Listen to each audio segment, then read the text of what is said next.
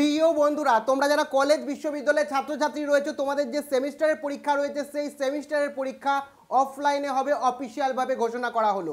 তারপর থেকেই ছাত্রছাত্রীদের মধ্যে বিক্ষোভ, আন্দোলন এর পরে কি ডিসিশন নেওয়া হলো? পরীক্ষা অনলাইনে হবে না পিছিয়ে যাবে? কীভাবে পরীক্ষা নেওয়া হবে? অফিসিয়াল কি তথ্য দেওয়া হলো? সমস্তটাই জানাব এই ভিডিওতে বিস্তারিতভাবে। আর ভিডিওটি ভালো লাগলে তোমাদের কাছে অনুরোধ, অতি অবশ্যই একটি লাইক প্রদান করো। আর আমাদের পরিবারের সদস্য না হয়ে থাকলে রেড বাটনে ক্লিক করে সাবস্ক্রাইব করার সাথে সাথে বেল আইকনে ক্লিক করে অল নোটিফিকেশনে ক্লিক করে আমাদের পরিবারের সদস্য হয়ে ওঠো। বন্ধুরা, তোমরা সকলেই জানো, ইতিমধ্যে এই সমস্ত সেমিস্টারের যে পরীক্ষা, চলতি সেমিস্টারের পরীক্ষা অনলাইনে নেওয়ার অ্যাডভাইজারি জারি করেছিল আমাদের রাজ্য সরকার। যখন শিক্ষা প্রতিষ্ঠান সম্পূর্ণভাবে বন্ধ ছিল। ইতিমধ্যে শিক্ষা প্রতিষ্ঠান খুলেছে সবে মাত্র। কয়েকটা দিন হয়েছে, অনেকে এখনও পর্যন্ত কলেজে যেতে পারিনি, অনেকে এখনও পর্যন্ত ও অফলাইনে ক্লাস করতে পারিনি। এরই মাঝে অফলাইন পরীক্ষার ঘোষণা করা হলো। কাদের ক্ষেত্রে যারা পলিটেকনিক ডিপ্লোমার স্টুডেন্ট রয়েছে, তাদের যে সেমিস্টারের পরীক্ষা রয়েছে, সেই সেমিস্টারের পরীক্ষা অফলাইনে হবে এমনই ঘোষণা করা হয়েছে অফিসিয়ালভাবে। তারপর থেকেই কিন্তু ছাত্রছাত্রীদের মধ্যে একের পর এক বিক্ষোভ তারা পথে নেমেছেন, আন্দোলন করেছেন এবং আমাকেও তোমরা বহুভাবে বিষয়টি তুলে ধরেছ।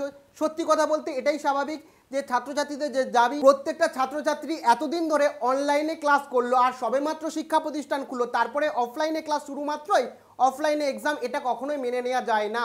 কারণ তোমরা সকলেই জানো, সমস্ত ক্লাস আজ অনলাইনে হয়েছে সমস্তটাই অফ অনলাইনে হয়েছে, তো অনলাইনে আগের মতনই এক্সাম হওয়া উচিত।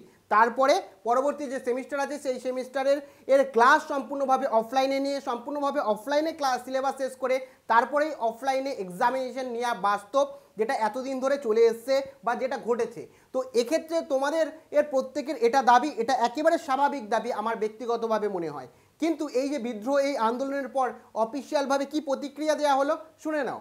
ফাইনাল পরীক্ষার কথা বলছে যে প্রিপারেশন সেভাবে হয়নি। প্রিপারেশনের সময় ছিল, এখন পড়া- ছাত্রদের কাজ হচ্ছে পড়াশোনা করা, ওরা পড়েনি ডিটার ছিল যেভাবে হোক ওটার জন্য আমরা পরীক্ষাটা খানিকটা পিছিয়ে দেবো সিদ্ধান্ত নিয়েছি। হতে পারে সাত দিন, দশ দিন। যেটা লজিক্যাল হবে, যেটা সম্ভব করা আমাদের, পরীক্ষাটা পিছিয়ে দেবো। দশ দিন যদি পিছিয়ে যায়, তাহলে অনেকটা পড়ার সুযোগ পাবে। কারিগরি ভবন থেকে যে বিষয়টা জানানো হয়েছে, সেই বিষয়ে তোমাদের কি প্রতিক্রিয়া? তোমরা কমেন্ট সেকশনে অবশ্যই জানিও। তোমাদের দশ বারো দিনের মধ্যে সিলেবাস কমপ্লিট হয়ে যাবে।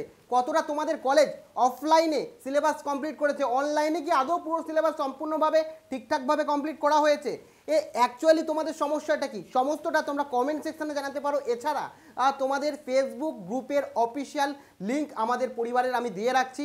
ডেসক্রিপশানে এবং প্রথম কমেন্টে ওখান থেকে গিয়ে তোমরা নিজেদের ভিডিও নিজেদের প্রতিক্রিয়া ওখানে জানাতে পারো। সেই ভিডিও আমি আপলোড করার চেষ্টা করব। দেখো, আমরা সকলেই অনুরোধ করতে পারি, আবেদন করতে পারি, তোমাদের দাবিটাকে তুলে দিতে পারি। এবার অফিসিয়াল থেকে ভাবে কি করা হবে, এ সেটা কিন্তু রীতিমতো জানিয়ে দেওয়া হয়েছে। পরবর্তীকালে কোনো ডিসিশন যদি চেঞ্জ হয়, তাহলে সেটা কিন্তু পরের ব্যাপার। সেক্ষেত্রে তোমাদের প্রত্যেককে একটা কথা বলব। এক্ষেত্রে তোমাদের প্রত্যেককে একটা কথা বলব। অফিসিয়ালভাবে যে তথ্য আছে, সেই তথ্য অনুযায়ী তোমাদের পিছিয়ে অফলাইনেই পরীক্ষা হবে, এমনটি কিন্তু এই মুহূর্তে আপডেট রয়েছে। কাজেই তোমরা বিন্দুমাত্র সময় নষ্ট না করে সম্পূর্ণভাবে পড়াশোনায় মনোযোগী হও। অফলাইনে পরীক্ষা হচ্ছে, এটা ভেবেই প্রিপারেশন নাও। যদিও তোমাদের দাবি তোমরা অবশ্যই রাখতে পারো, তোমাদের সাথে সর্বদা ছিলাম, সর্বদা আছি এবং চেষ্টা করব তোমাদের দাবি সোশ্যাল মিডিয়া তুলে আর তোমরা তোমাদের নিজস্ব ভিডিও মারফত তোমাদের মতামত, অবশ্যই তোমরা গ্রুপে ফেসবুক গ্রুপে ভিডিও মারফত আমাকে জানাতে পারো।